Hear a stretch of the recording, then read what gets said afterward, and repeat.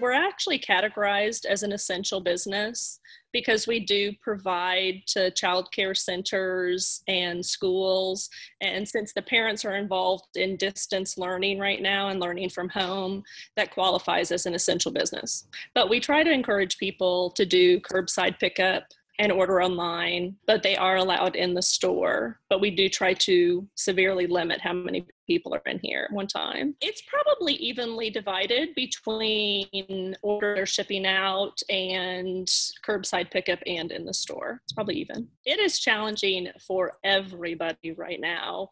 Um, parents want what's best for their kids, and they're a little apprehensive on all of a sudden I'm in charge of education and that's not my background.